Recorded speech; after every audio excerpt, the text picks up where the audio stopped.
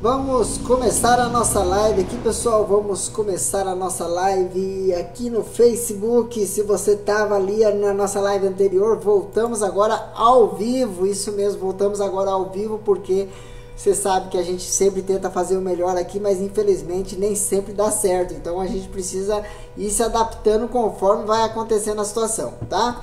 É, pessoal, boa noite. Meu nome é Carlos, eu sou da Taniguchi Relógios. Se você está assistindo a gente aqui, deixa seu joinha, não esquece de comentar aí embaixo também, que é sempre legal escutar vocês falando, escrevendo aí embaixo, não falando, escrevendo aí embaixo, tá? E hoje o assunto é bem legal, o assunto é sobre a Oriente do Brasil e as linhas com o DNA brasileiro. Isso mesmo, existem vários e vários relógios aqui que são produzidos no Brasil, tá? No Brasil e eles são vendidos somente para o mercado brasileiro, tá?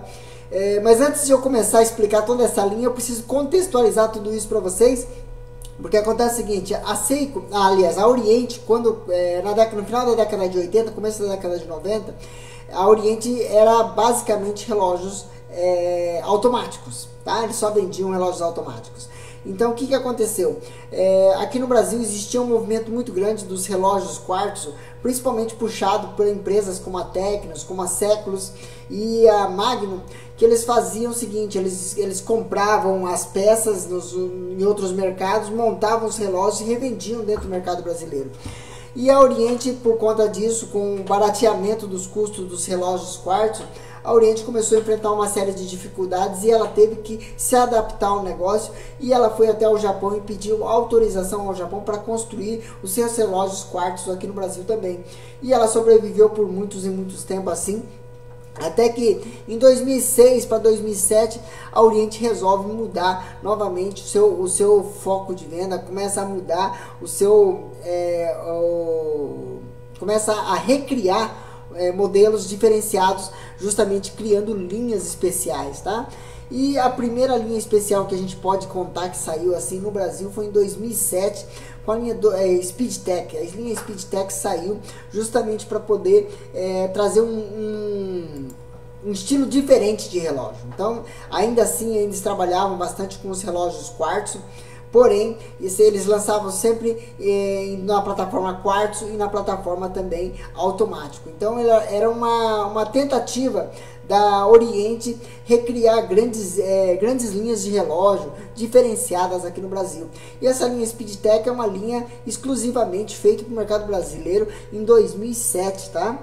E logo depois deles criarem essa linha, em 2007, é, eles tiveram uma boa aceitação justamente por conta é, do design mais arrojado, design mais esportivo, uma pegada mais diferente dos tradicionais relógios que vinham pela Oriente e tudo mais.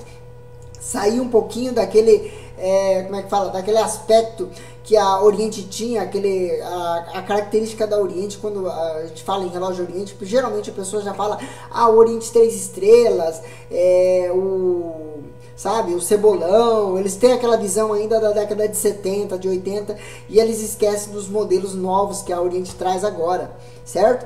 Então, depois, de, depois desse sucesso, eles trouxeram então a, a linha.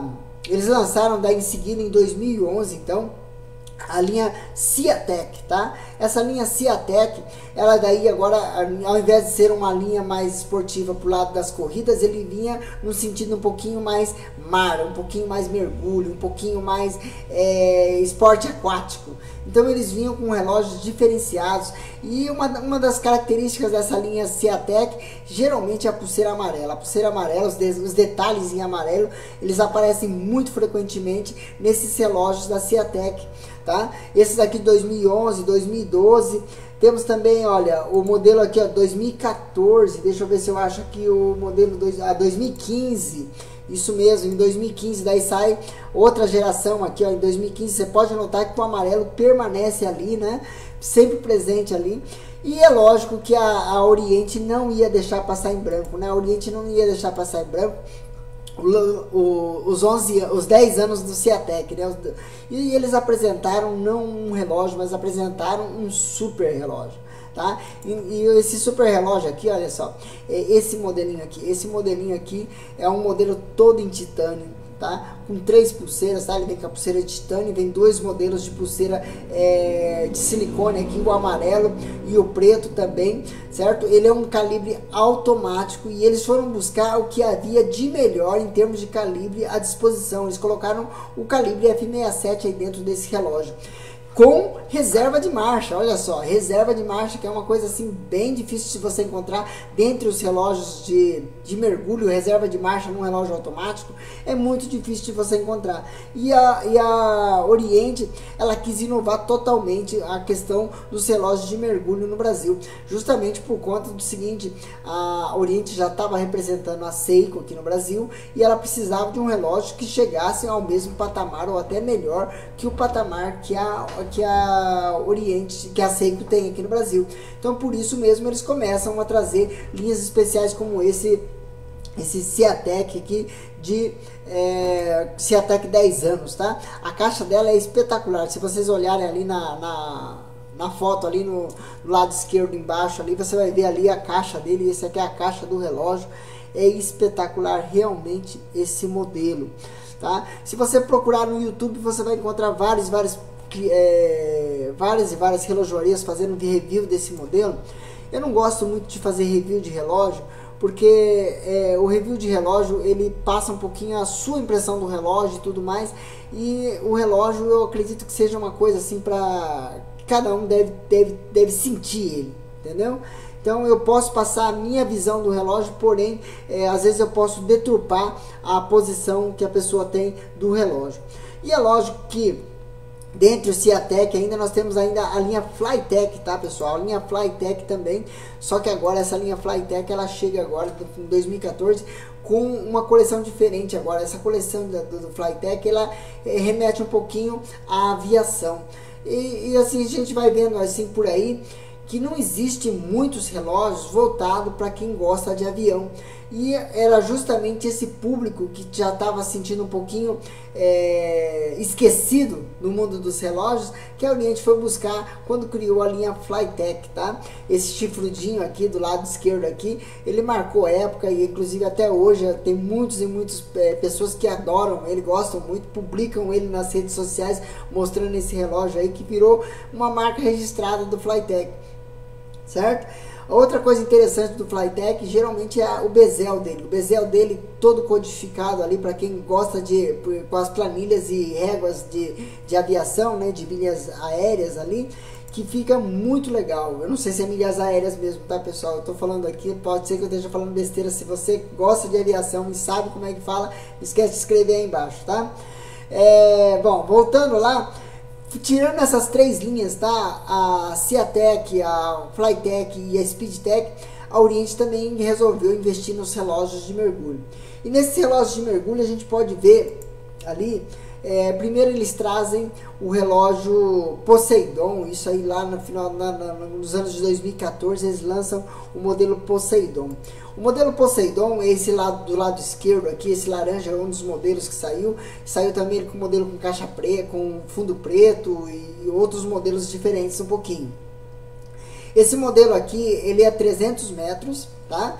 E o interessante do Poseidon é que ele também é exclusivo para o mercado brasileiro, tá? Ele é exclusivo para o mercado brasileiro e ele levou uma, uma, uma, feliz coincidência, lógico, que eu já contei isso em outros vídeos, de um americano levar esse relógio para os Estados Unidos e realmente ver que lá nos Estados Unidos não tinha esse modelo.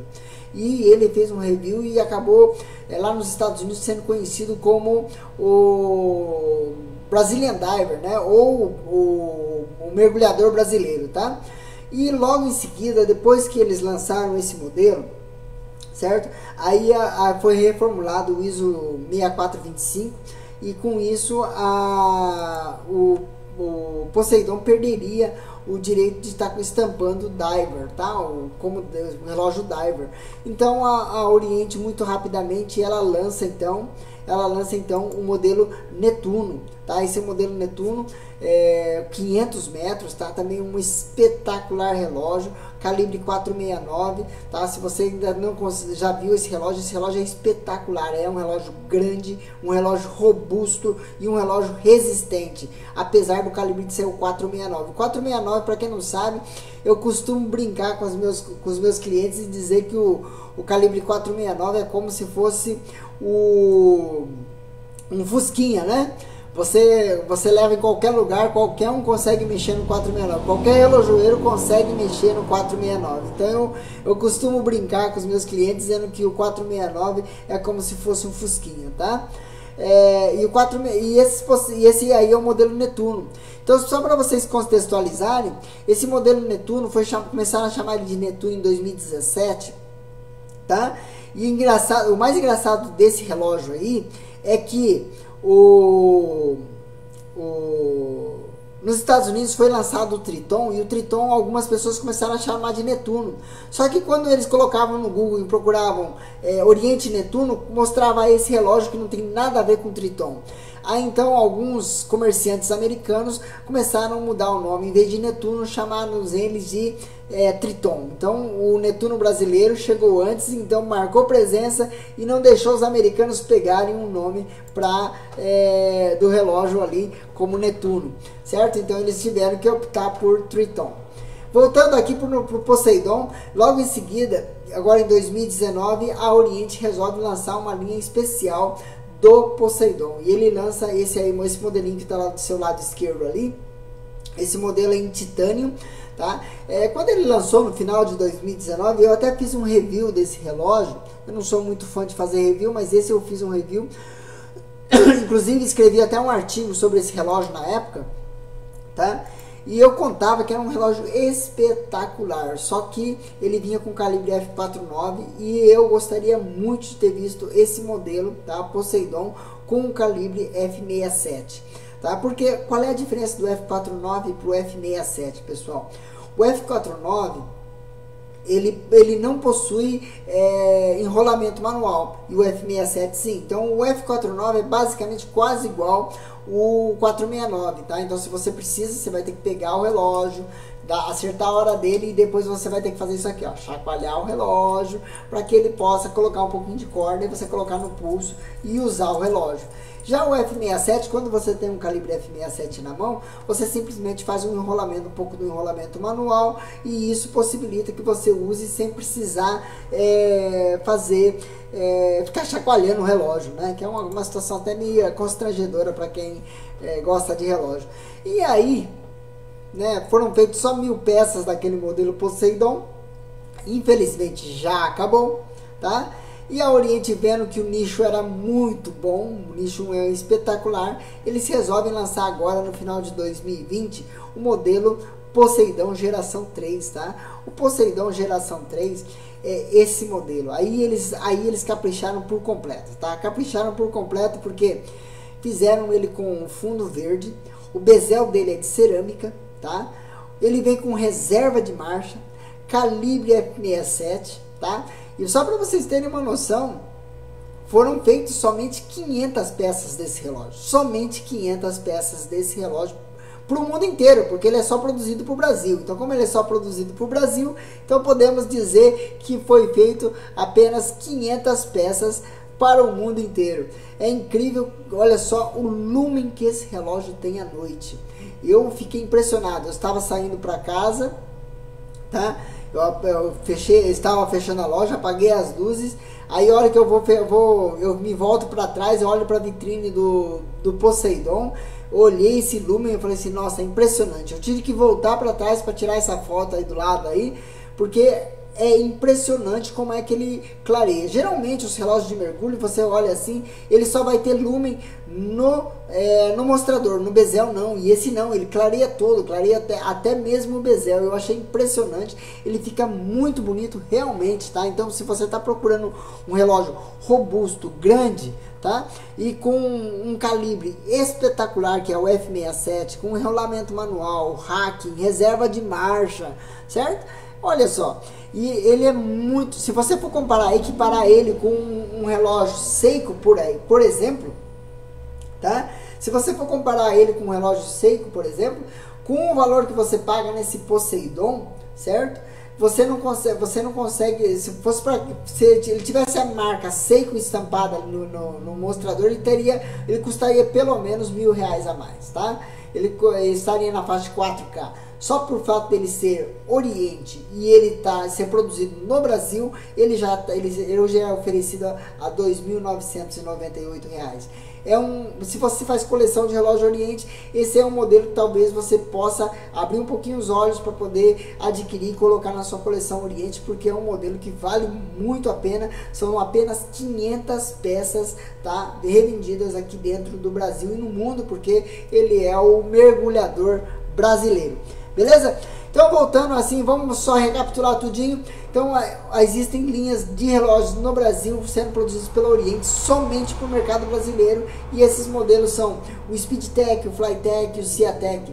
E depois, é lógico, a linha Poseidon e a linha Netuno também são produzidas exclusivamente para o público brasileiro. Se você gostou desse vídeo, por favor, não esqueça de compartilhar, não esqueça de dar seu joinha, não esqueça de comentar um pouquinho sobre esse vídeo também, que é muito legal gente trocar experiências e conversar um pouquinho mais sobre o Oriente. E olha só, eu deixei separado aqui os três modelinhos que eu tenho aqui o Ciatec 10 anos aqui, 500 peças somente, tá pessoal? Só tem 500 peças desse.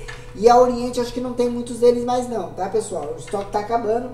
Esse aqui é o Poseidon, tá? Esse aqui é o Poseidon, ele, igual eu falei para vocês, ele vem com três pulseiras, tá? Então ele tem aqui o relógio, do lado de cá nós temos mais duas pulseiras guardadinhas aqui, olha. Ah, não deu para ver, né? Aqui tem mais duas pulseirinhas guardadas aqui, escondidinhas aqui atrás, tá? E é lógico que eu não podia esquecer também. Hoje o, o Speedtech eu não tenho nenhum aqui para mostrar para vocês, mas eu tenho o Flytech aqui. Esse Flytech aqui também à disposição para vocês aqui, se vocês estão procurando um ótimo relógio. E esse aqui está numa super promoção, tá pessoal? Ele está numa super promoção, tá? É, eu vou fazer 998 reais com frete grátis para você de todo o Brasil. É só me chamar aqui na no final da live aí, ou então me chamar no WhatsApp, no Facebook, no Instagram, onde você estiver, me chama que a gente vai poder negociar ele muito bem. Valeu? Bom, eu vou, para finalizar, eu vou agradecer todo mundo que sempre me, me comenta as minhas lives. Quero agradecer a todos. Não vou citar nomes hoje, pessoal, porque no outro dia me, me chamaram a atenção que esqueci de alguém, aí ficou até um pouquinho chato. Mas eu não vou, eu vou quero agradecer a todos. Quero convidar cada um de vocês para curtir, aliás, inscrever no meu canal no YouTube, tá? Uh, hoje nós já estamos com mais de 750 pessoas inscritas no meu canal do YouTube. Quero, tem que chegar a mil pessoas lá para poder fazer uma live compartilhada junto aqui. Então, é, estou pedindo a ajuda de vocês para que vocês me ajudem a chegar aos mil inscritos e assim começar também a fazer as minhas lives dentro do YouTube. Beleza? Eu vou ficando por aqui, tá? Meu nome é Carlos, eu vou ficando por aqui e se você gostou desse assunto aí, não esquece de se inscrever na nossa página, não esquece de curtir nossa página aqui e seguir a gente sempre, valeu? Um grande abraço, fiquem com Deus e até a próxima.